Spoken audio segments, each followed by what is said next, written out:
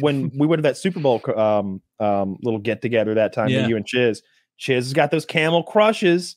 Woody, this is a cigarette that tastes normal, but inside the butt, you know, the part in your mouth, the filter, sick. there's a little capsule, and you can nibble it with your front teeth, or you can pinch it with your fingers hard Mhm. enough, and you'll hear it crush. It'll go, and it releases that menthol minty flavor, very in a very potent way that you wouldn't be able to get if you just stored it in a pack.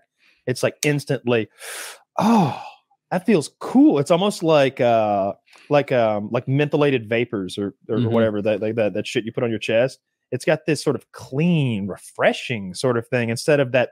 It's I know when you secondhand smoke, when you get exposed to that, it's this dirty, nasty thing. So is marijuana. It's it's much it's a dirtier smell. But I don't know that, that those things tasted fucking good. Every time I hang out with Chiz, I have to smoke those fucking things. I've um I've gone He's a he's a vacations. cigarette Uh, king.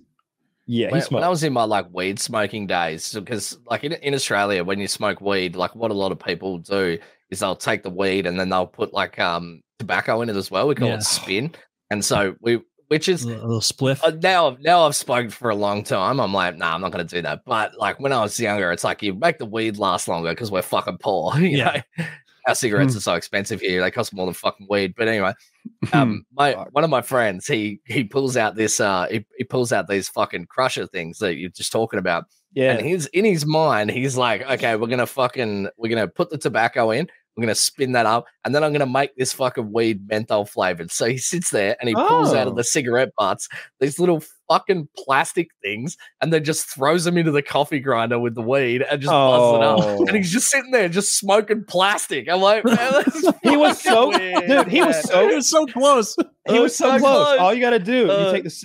you can take a cigarette and uh gently the the white paper between your fingers, and you do this. You back and forth like you're making a fake. Oh little, yeah, no, uh, I've done that a million times. Yeah, and, and, and, and, and, and, and very quickly, all the tobacco will get loose, will be get unpacked, and just fall out until you've got this hollow cylinder of paper that you could have never made yourself. And then you can very carefully fill that with marijuana.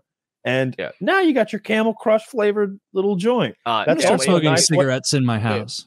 we always call if I was gonna like go so, out like, and and I wanted a joint one so that. I could, i- if I was gonna go out and I wanted a joint, like if I was going to the, the carnival or something, and I wanted to, this is years ago, and I wanted to be able to get high and then go into the carnival. That's what I'd do. I'd roll up Yeah. a cigarette like that, and I'd be holding it like as I'm driving there because I've got drugs in my hand.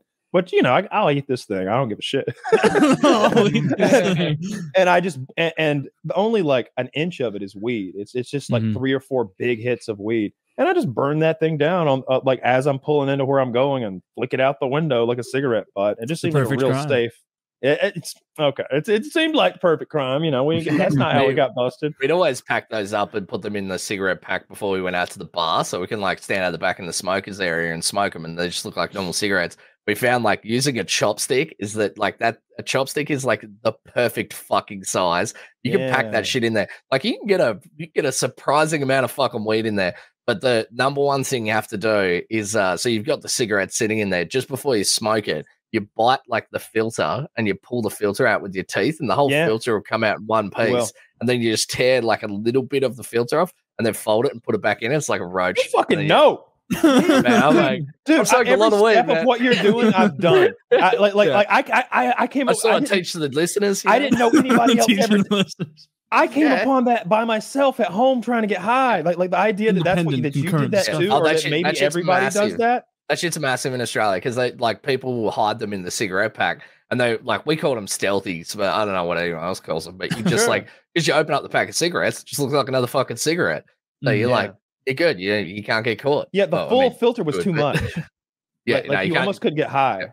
Do you, yeah, you don't want to like, smoke weed pull- through a filter like that, right? It doesn't little pull through filter. fast enough. You want a Yeah. little, yeah. You don't. You're like, you're like, it's Yeah. like smoke. You ever have somebody roll one up and it looks like a fucking, I don't know, like some lint or something, like a hair. Like, like, like. If I see Yeah. a toothpick joint, I'm, I'm so embarrassed for you. I can't roll one though. I had a rolling machine. That's how I would roll them. If I wasn't stuffing cigarettes like we just described, but Yeah, I um, find the filter and all, I, I've like, done that exact thing. It's so funny. put like way too much in there. So like if you're if you're just chilling and you're like, yeah, I'm gonna get high before I go to work or whatever. If you put one into the rolling machine and you roll like something like enough weed in there to like make it roll properly, you're like oh, I'm going to be way too fucking high to work. So, so you end up making these like little greyhounds. We, we, we go we call them whippets, like the little mini greyhounds. So they're like real like thin little joints, and you Mhm. just like smoke those. You know, but like, it's uh depends on the strength of the weed though, I guess. But like it's very hard to find specific weed in Australia. You can't just like walk Oh, out I and go,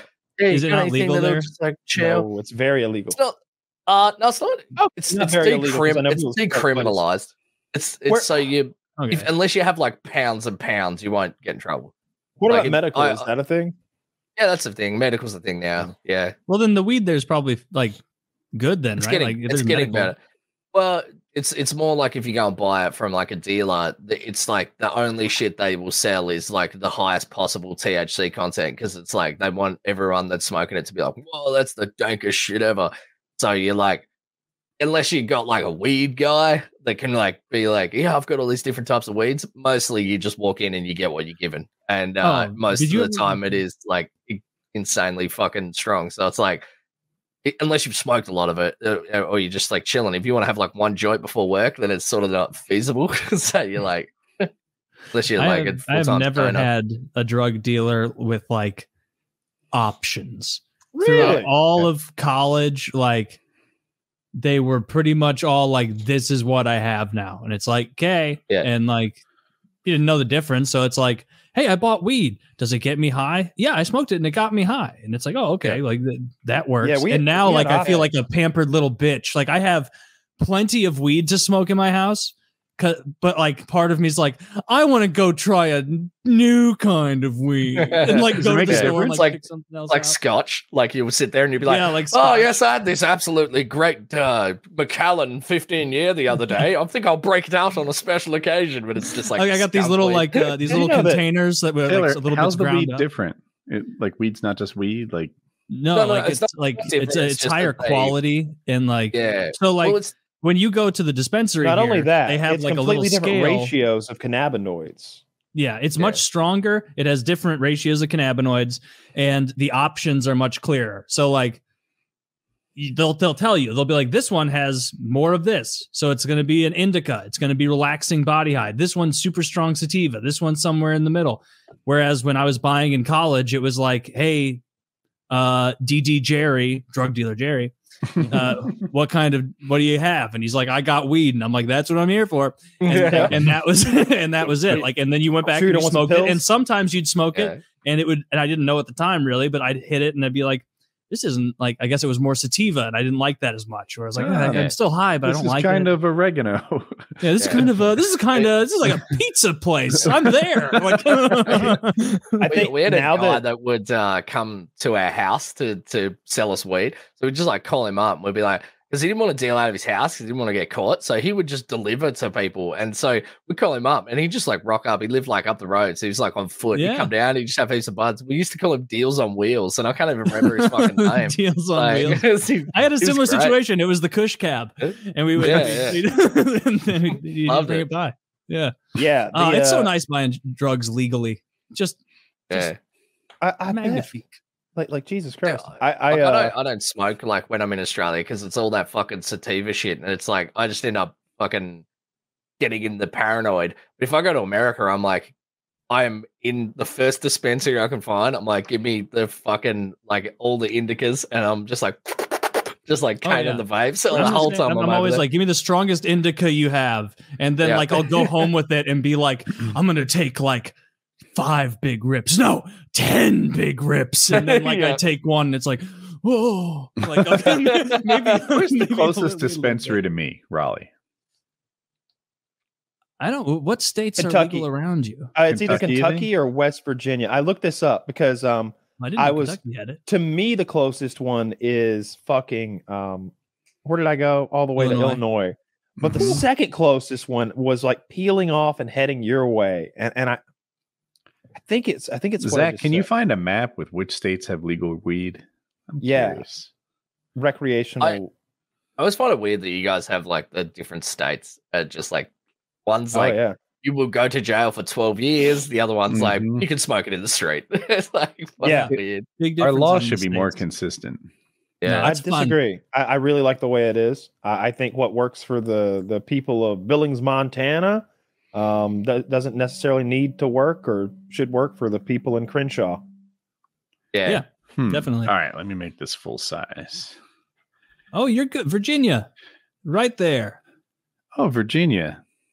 That's not too Well, far. Mix. Get on a up north to Motorcycle Virginia. ride. Damn, Yeah, get- Georgia and a and a slower ride home. Georgia, and you guys are lagging behind Dude, Alabama. you don't even know. You don't even know. It's it's it's it's so sad. It's so sad. I, uh, Landed- I at mean, least this- Missouri. Oh, oh, wait, is Missouri close? Oh, Missouri's closer. I bet.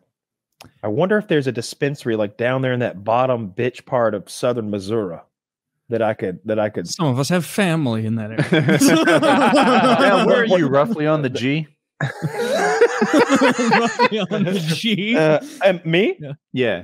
Um, I no much more north than that, right? Atlanta. Um, I'm I'm in the city now. Um, Hmm. I would That's say not where Atlanta is roughly. no, no, it's it's it. I mean, close. I mean, you're the GA is in the middle of the state, right? So how far could it be? No matter Right, where. but maybe if the G were right on top of the G, it'd be there. hmm a little higher, probably two G's, Really? and a little to the left. Huh. I mean, we could superimpose a map of the fucking. Uh, I mean, show, show I us. don't- Zach, we don't have that show kind of us tech. Atlanta. we'll never know where Atlanta Can is. you, can you pull up my address, please? I just wanna If, if that's a modern, if that's like a current map, I'm in. only Uh, I'm in little five it's fully illegal.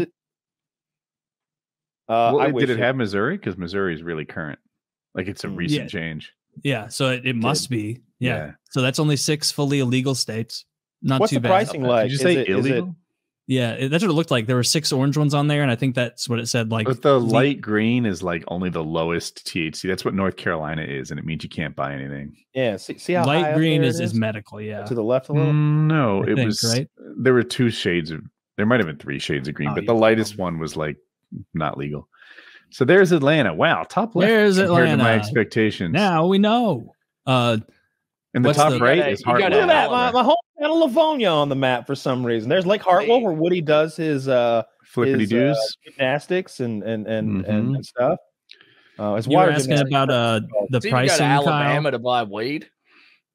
uh, Alabama does not have weed for sale, as far as I know. No. I bet I think they got medical. No, I was saying they were lagging behind, meaning that Mhm. Georgia Oh. has stricter laws surrounding it than even Alabama, Mississippi, those other states Oh, down there. Yeah, Yeah, so it's pretty the, rough the here. pricing of it here is like Republicans. they have like premium stuff and then like less premium stuff, I guess. Like I got a quarter of some indica for like I think it was like $70 around there, 70 $75 for a quarter. And that That's was fine. for like normal. And then like the some of it they only sell in eighths, obviously to get you to buy more. And so like some of the super strong stuff, they they will only offer in an eighth, and Aren't it's like thirty eight dollars for an eighth. So the dispensaries. 40 bucks. Is it a situation Like where I know I when I went to Illinois, the situation with the dispensaries was that it seemed like there were a couple of big sort of corporate type stores. It's like, oh yeah, this is Mhm. there. there are, this is red leaf dispensaries, and you could no matter where you went, you were still like buying from the same people. Technically, is it like that, or is it mom more mom Uh, and pop? There's like pretty much. I think it's like a law that like a lot of the weed sold in the dispensaries because of state stuff has to be grown in that state, and so like so many of the things the same way you go to colorado and it's like from colorado from colorado or illinois from illinois from illinois Mm. Yeah, it'll be like this is grown in missouri this is this But the- strain The and- name of the dispensary, like, are there multiple dispensaries in your town? there are there are multiple different like chains but Wow. there's a couple that are huge like uh there's one called like N'Bliss and Mhm. it's there's a bunch of locations of that there's probably more than i saw last time because every time i Yeah. go out of the house there's another fucking I have questions, Taylor. If you wanted to buy a legal pot right now, could you walk there? no no i'd have to drive How long Uh, is the drive in minutes? not too bad like there's there's a couple near me like probably 15 like Okay, even that's a bit of too a bad. drive though. Like it's not nothing. yeah probably yeah It's not like you can probably get gas closer than that. oh yeah yeah i can get gas closer than that like a- There's also like, I bet there's one closer than me now because I'm still going to the same one I Googled initially and was like, closest dispensary. Like, there's probably one like on the other side of And it now I know don't where that is. about. I never need to learn again. Yeah. And like, it's funny. I thought that once it was legal, I'd be going in there like, give me this concentrate, give me this fucking uh, edible. Well, I guess edibles don't count because we have a way stronger fucking sponsor for it. But like, all the other stuff, it's like, do you want to try this like disposable pen? Do you want to try this dab rig? Because like they also sell like rigs and glass there as well. And uh, We have a sponsor for those too, and Yeah. yeah, hard to beat. they're they're Yeah, you just need tremendous. I'm gonna get You high just as need, shit the, off na- with you it. just need the right after this. attachment, the nail or whatever. Mhm. But like I'm just doing flour. Like, and it's I think it's probably the cheapest way to do it. On, and you also, remember. You remember oh, I remember going into taking. I've taken. I've taken lots of dab uh, Oh, that's dab right. rips, but th- it is just so unnecessary most of the time. Like Dude, you can get it. fucking high as shit with regular weed. You don't need to be like, "Hey, Yeah. Taylor, you know how you're going to get high on that like leaf right there?" It's like, "Yeah, I'm looking forward to it." It's like, "How about this? How about this, Jack? Science into the leaf. Now it's concentrated." And it's like, it's like, so it's going to be like smoking the leaf. No, it's going to be uncomfortable. you know everything you like about that that bud not the same like it's gonna be a, a- Dude, I an love it. X-hammer Yeah. I love I it. always find It's- that it's- I like have to be ready uh, to you have chill people that just dab keep rip. smoking and smoking and smoking. It's like you can only get so high. yeah Like you hit a wall it's not like now you're just, drinking you're just wasting But weed. dabs will bust through the wall. Dabs are. I remember uh, being. I remember wall explaining to my lawyer what dabs were, and uh, uh, you know, like, be not a very cool lawyer well, you know, like, like I was like, I explained to him, I was like, it's sort of like weeds like beer and dabs are like liquor. He's like, oh, okay, I understand now. Don't ever say that out loud. I get it don't repeat that He's like, do not say that in court. because we're trying to tell him it's the opposite right now. They're like, Yeah. sir, it's this therapeutic oil they make from weed. Kyle was rubbing it on his ears. you know, we're doing the best we can with what we got. Um, Yeah. but uh, but I I remember doing dabs with you um in Colorado, Yeah. and and just I was in the zone. I, I that's when I was a true marijuana athlete. Okay, me, my girlfriend Taylor, and uh, and Chiz, and I, I I went and got the big big ass like two hundred dollar bong, and we're ripping those torch powered dabs in the living room. Yeah. of that rental house.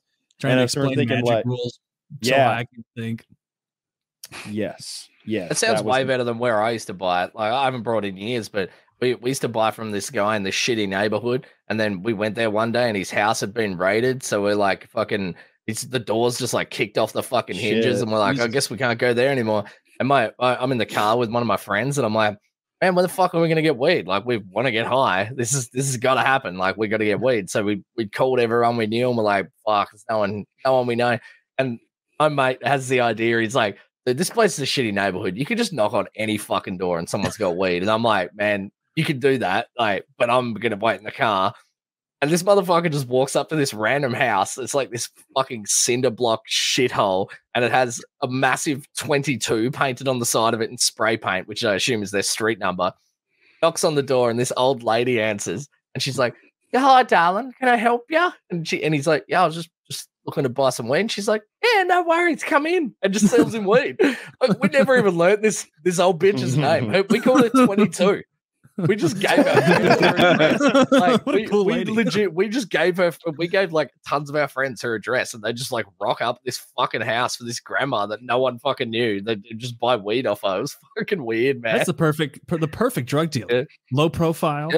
old lady yeah oh, she'd always she'd always been there like uh she's retired and she'd always be like babysitting like fuckloads of kids like she you go in there and there'd be like 20 kids sitting around the fucking telly just watching watching shit she's just selling weed out of the kitchen It's just fucking hilarious Is it one of those Cool. things where like at the door you're like, this is a cool situation, and you walk in, you're like, oh, oh. uh yeah, well I mean, the, the kids weren't granny meets weed. you at the foyer. She's like, grass or ass. Yeah. Look, I, I'm, I, I will. I will admit, first. compared compared to the other shit I have seen in that neighborhood before. That was the motherfucking nirvana for those kids because, like, like I I saw some pretty fuck shit in that neighborhood, and it was uh it was definitely definitely not nice. But like we like one night we we went to this, this the old dealer's house, the one that got raided.